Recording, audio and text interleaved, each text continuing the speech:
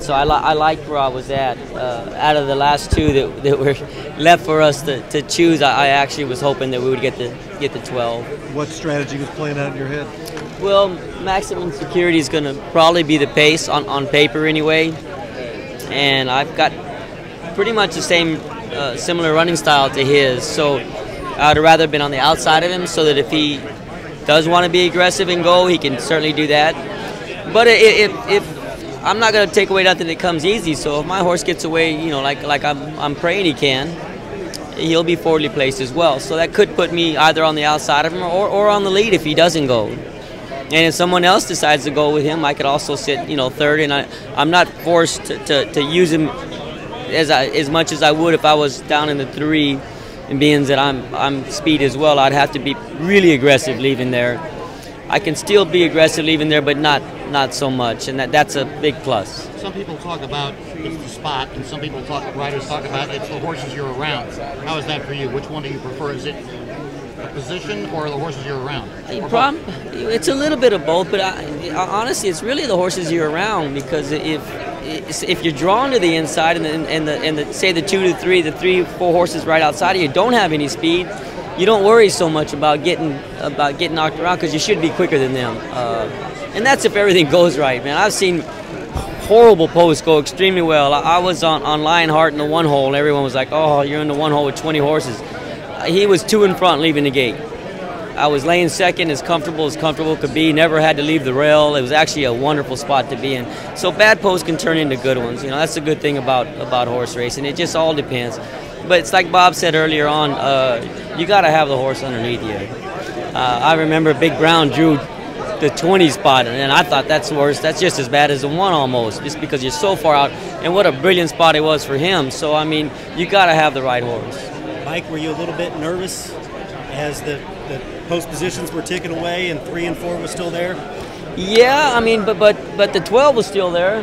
Yeah. And, and I was I was hoping for the 12, and, and we were blessed enough to get it. You know. What does what does the 12 allow you to do in this race?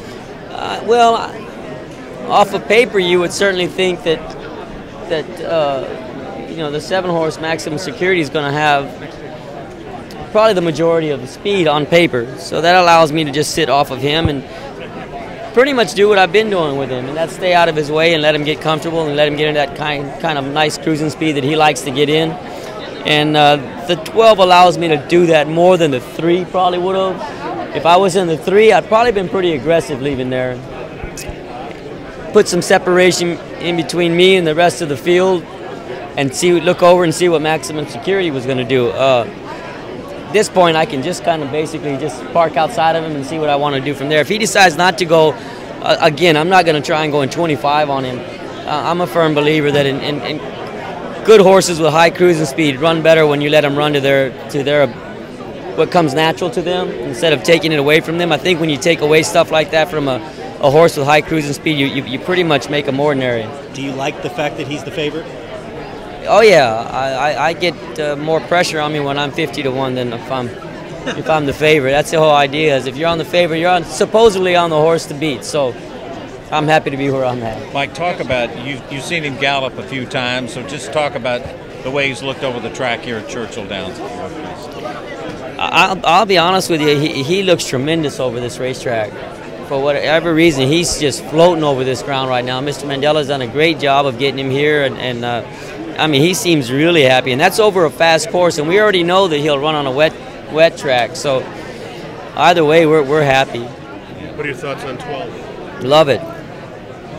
Being where everyone else drew, you know, uh, it's a good good spot.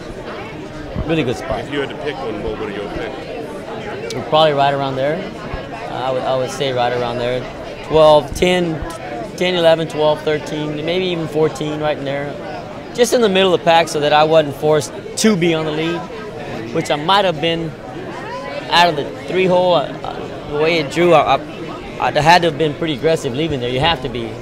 Otherwise, you know, you, you'll wind up, you'll think, you, you oh, I'll just sit right here leaving there, and you'll wind up 13th. I mean, that fast. So where I'm at, I'm able to, to get away well, but yet look over to my inside. Most of the speed should be to my inside. I can see what they're doing. if they decide to go, I can park outside them. If they don't, then I'll, I'll be happy with that with that position as well. Mike, you won the Derby with a horse that came from way out of it, Giacomo. You won with one that had a, a lot of speed with Justify, especially under the point system where there's not the sprinters you used to have. How important is it to have a horse that maybe can make his own luck as opposed to having to hope for one? Uh, very important, uh, Jenny. Uh, uh, now with the point system, as you said, you don't have a lot of sprinters in there. Where when I rode it with with Giacomo, there was a lot of it was extremely fast pace, so that helped me coming from way out of it. Now with the point system, you, you don't quite see that as much. You know, although Justify did run pretty quick, but he was just naturally quick. He was just a he was a real good horse with a high high cruising speed and and. Uh, this horse has that kind of cruising speed. Uh, I'm certainly not going to compare him to him yet, but uh, he's got the, certainly a chance to, to do some something special on Saturday. So we'll see. Mike, what went into the decision to take the mount on Omaha Beach? Uh, just several different things. Uh, uh, I thought Bob had the top three horses going in, and, and we were blessed to, to have already beaten two of them. Uh, and then, uh, you know, my decision was between him and Roadster, who I think has an abundance of talent, an extremely talented horse. I just felt that, that Omaha Beach for this race uh, had the seasoning, more seasoning underneath his belt, and that he would ha- handle any kind of surface.